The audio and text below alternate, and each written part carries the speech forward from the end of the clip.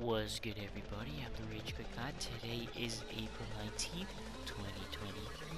Hope you're all doing good here today. Um, I believe you should be getting a locker bundle tonight. There we go. Zetfar's locker bundle. We got the ruby skin. Zoom in for this.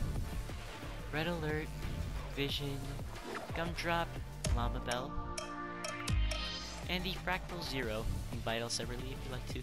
I remember when this was first leaked, people thought that this was gonna be Nanacool's locker bundle, but it's not. It is Zetfar's locker bundle.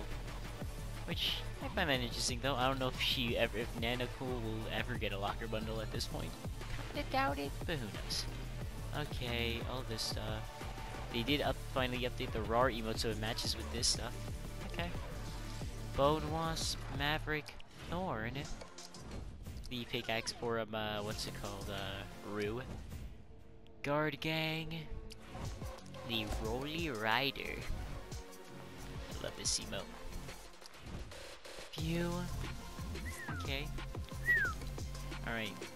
Costa and Levi, all this stuff. Do we got anything else down here? Nothing else. Okay, no new bundles it looks like. I, I don't think they removed anything as far as I know. That look like it. Then Fortnite Crew. So just the Zetfar's Locker bundle. I do want that Llama Bell, but I don't know if I'll get it though. Hopefully you guys enjoyed it. If you did, let me know with the like, comment down below, check out the shop, and so far daily content. Have a good night everyone. See y'all around.